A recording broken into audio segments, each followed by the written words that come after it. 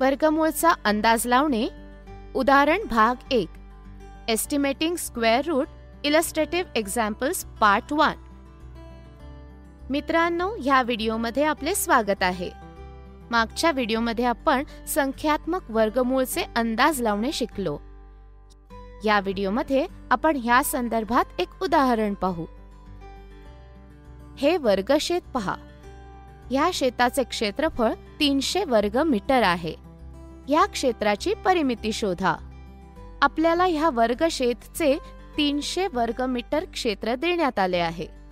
समजा ह्या वर्ग क्षेत्राच्या काठाची लांबी एस असेल तर वर्गच्या क्षेत्राच्या सूत्रानुसार ते एसच्या सामर्थ्याने दोन समान वर्ग असेल जे तीनशे वर्ग मीटर असेल.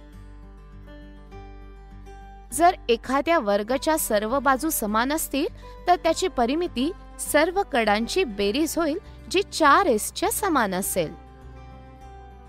याचा अर्थ परिमिती शोधण्यासाठी आपल्याला त्याच्या काठाची लांबी शोधावी लागेल. हे समीकरण पहा. ज्याचे वर्ग तीनशे असेल त्याचे मूल्य शोधायचे आहे म्हणजेच आता एस चे मूल्य शोधण्यासाठी आपल्याला तीनशे संख्येचे वर्गमूळ शोधायचे आहे.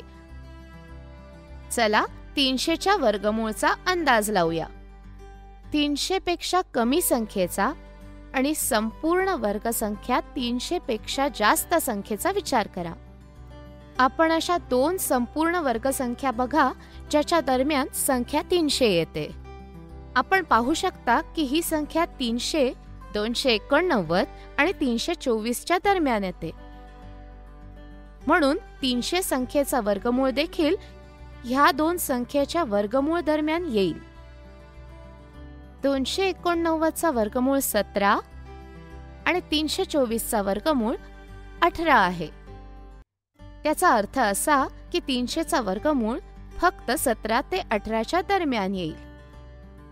आपण इथे पाहू शकता की संख्या तीनशे संख्या तीनशे चोवीसच्या तुलनेत तीनशे संख्या दोनशे मूळच्या संख्येच्या जवळ आहे जे आपण त्यांच्या फरकानुसार तपासू शकतो. म्हणजेच तीनशेच्या वर्गमूळची सर्वात जवळची संख्या सतरा आहे. सतरा पलीकडे थोड्या हालचाली करून सतरा दशांश एक सतरा दशांश दोन सतरा दशांश तीन आणि सतरा दशांश चार या वर्गांचे परीक्षण करूया. सतरा दशांश तीनचा वर्ग पाहता आपण असे म्हणू शकतो की सतरा दशांश तीनचा वर्ग अंदाजे तीनशे इतका झाला आहे. ह्यावरून आपण असे अनुमान काढू शकतो की तीनशेचा वर्गमूळ अंदाजे सतरा दशांश तीन इतका असेल. तर चौरस क्षेत्राच्या एका काठाची लांबी सुमारे सतरा दशांश तीन मीटर असेल. त्यामुळे आपल्याला शेताची परिमिती एकोणसत्तर पूर्णांक दोन दशांश मीटर मिळते. आता आपल्याकडे एक प्रश्न आहे. वर्ग क्षेत्राच्या काठाची लांबी शोधा ज्याचे क्षेत्रफळ एकशे चोपन्न वर्गमीटर आहे.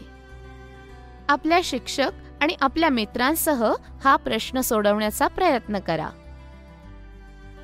या व्हिडिओमध्ये आपण संख्येच्या वर्गमुळाचा अनुमान काढण्यासंबंधी एक उदाहरण पाहिले. पुढील व्हिडिओमध्ये आपण काही मनोरंजक प्रश्न सोडवू. धन्यवाद.